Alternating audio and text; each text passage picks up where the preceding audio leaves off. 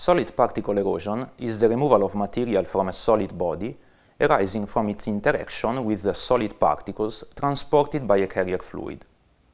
This phenomenon is very relevant in several engineering applications involving particle-laden flows, including mining and oil and gas processes, but also hydraulic machinery and hydraulic structures. Actually, there are different types of erosion.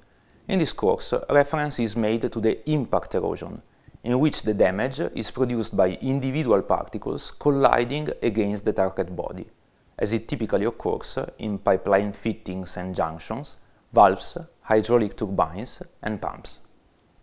A different type of wear occurs in the lower part of a straight slurry pipeline due to the shear action of a moving bed of solid particles. In this case, the term abrasion erosion is often used. For the sake of completeness, it is mentioned that erosion is not necessarily produced by solid particles. For instance, liquid droplet erosion is due to the impingements of high-speed liquid droplets, and it is a cause of failure of steam turbines.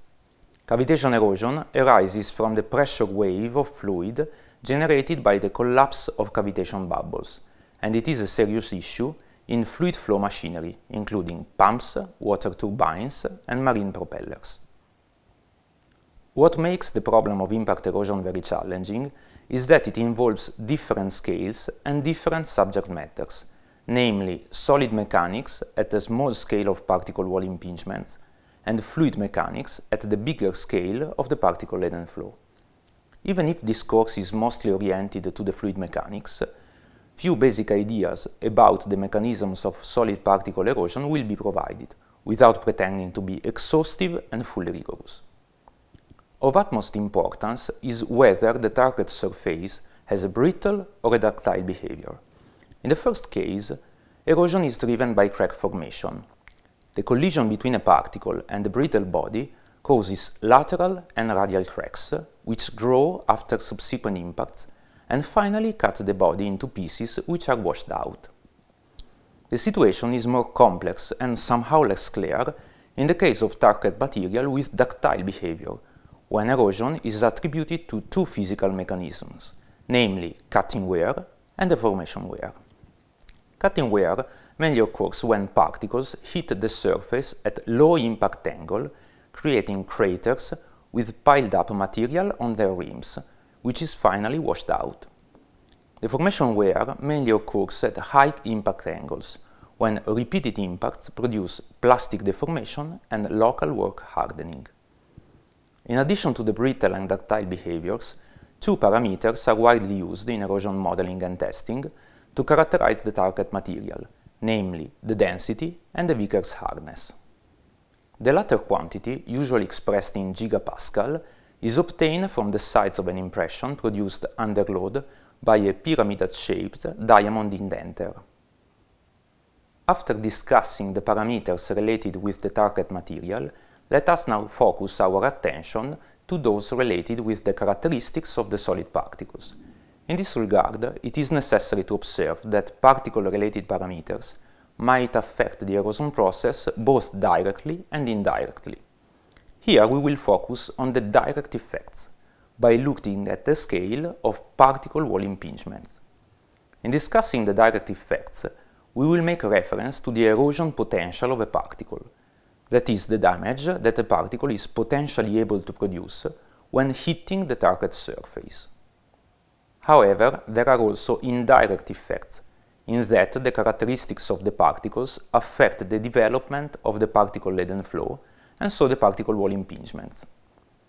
In order to make the distinction between direct and indirect effects clear, let us now focus on the first particle-related parameter, that is, the particle size. Experimental results showed that the erosion potential of a given particle increases with the particle size up to a threshold value of about 100 microns and remains substantially unchanged or undergo a very mild increase for bigger particles. This quantifies the direct effect of particle size, as it involves only the relation between the impinging particle and the target surface. At the same time, it has been observed that the damage produced by fine particles can be more severe than that of coarse particles, because the particles are more prone to be trapped inside the near-wall turbulent eddies, and therefore the same particle impinges against the target wall several times. This is an example of indirect effect of particle size, because it arises from the interaction between the particle and the turbulent flow. Other two particle-related parameters are particle shape and particle material. The direct effect of particle shape on erosion was found significant by many experimenters, who observed that the erosion potential of an angular particle could be as much as 5, 10 times higher than that of spherical particle with the same material and size.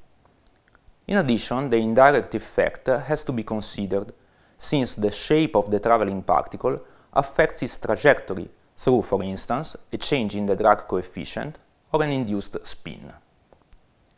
The particle material is typically quantified by density and Vickers hardness. Whereas the erosion potential of a particle increases with density, the effect of hardness is not as simple, the evidence showing an initial increase followed by a plateau.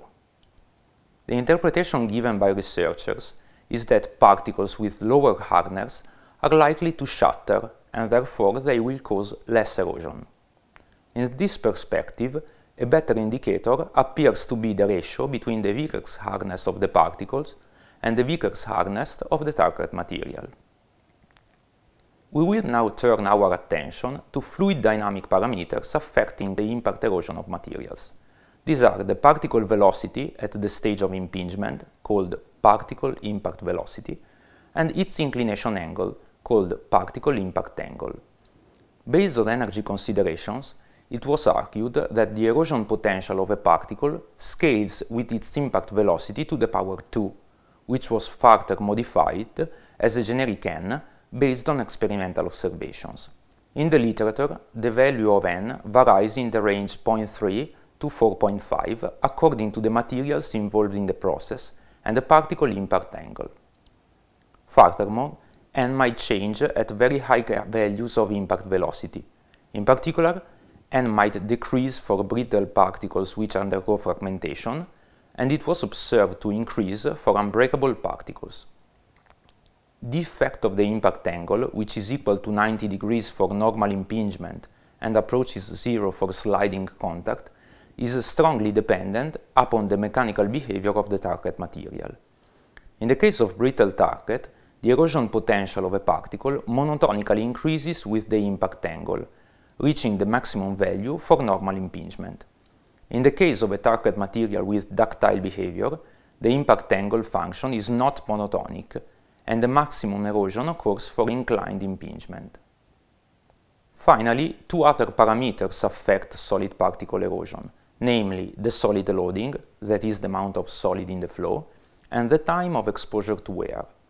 Note that the effect played by these variables is indirect, in the sense that it is not related with the erosion potential of a single particle, but related with the development of the particle-laden flow. As far as the solid loading is concerned, it has been observed that uh, for a given time of exposure, the mass of removed material increases less than linearly with the solid loading. The most recognized interpretation is based on the so-called screening effect occurring in dense flows. That is, after impinging the target materials, the rebounding particles collide against the incoming ones, reducing their erosive potential. Regarding the effect of time, steady-state erosion is characterized by a linear increase in mass loss. Steady-state erosion is a good approximation of the actual erosion process, only within a certain time interval. In fact, departure from the steady-state condition occurs because of two effects. At low testing times, because of changing in the mechanical properties of the target material after the first impingements. At high testing times, because the eroding surface changes the fluid dynamic characteristics of the particle-laden flow, and therefore it affects the subsequent evolution of the erosion process.